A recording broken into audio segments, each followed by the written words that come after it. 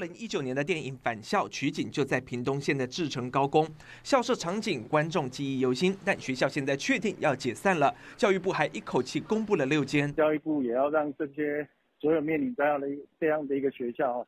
了解整个私校的一个退场的一个机制，还有他们的一个指标的一个标准。教育部十八号开第九次高中以上私校退场审议委员会，决定花莲县国光高工、台南市华记永安高中跟屏东县志成商工等六间已经停办的学校，依规定解散。这一类型的学校目前可能还是有学生。或者是有老师退场基金的一个进入，是对学生的一个学习的一个权利，还有师还有老师的一个权利的部分是比较有保障。根据资料显示，十月二十七号第一波公布到十一月二十四号第三波公布，总共七所学校列为专辅学校。十二月十八号第四波会议则是确定五所高中职及一所护专退场。虽然少子化已经成为了趋势，但全教总仍然呼吁政府妥善进行退场机制，避免影响师生甚至毕业校友的权益。记者王志文、王一仲台北报道。